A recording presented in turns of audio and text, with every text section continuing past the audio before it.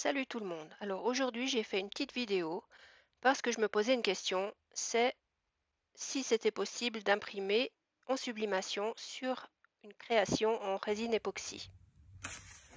Alors par manque d'aspiration, j'ai juste imprimé mon logo sur mon imprimante Epson.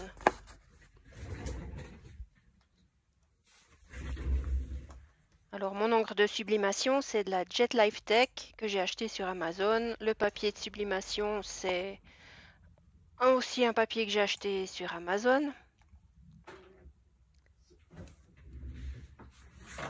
Un petit tour d'atelier. Voilà l'Epson.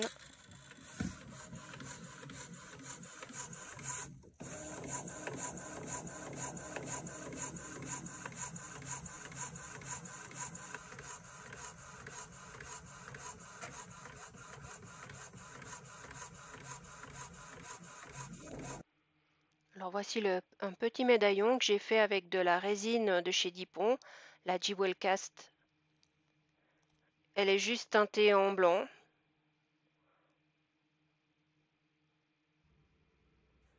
Et là, je vais mettre le...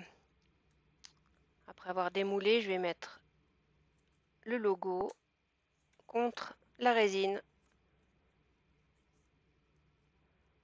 je vais aussi l'attacher en place avec euh, du scotch haute température pour pas qu'il bouge pendant la sublimation.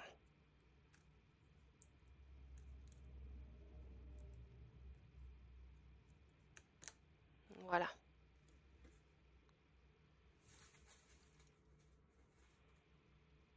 Alors c'est le moment de la sublimation.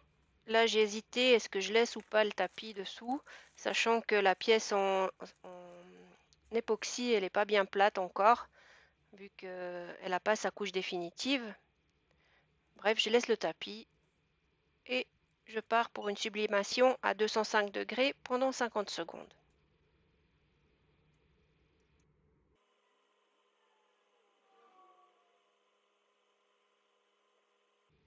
Alors là, on arrive au bout du temps de sublimation. je vais retirer la presse cricut délicatement. Et là, sans attendre, parce que je suis impatiente, je vais retirer le scotch et le papier. Voilà. Et oui, ça a fonctionné. Je suis super contente, c'est top. Le petit défaut, c'est sur les côtés en bas. Je vais vous le montrer tout de suite en agrandi. C'est que c'est un peu bavé parce que j'ai pas bien appuyé sur ma, sur ma pièce.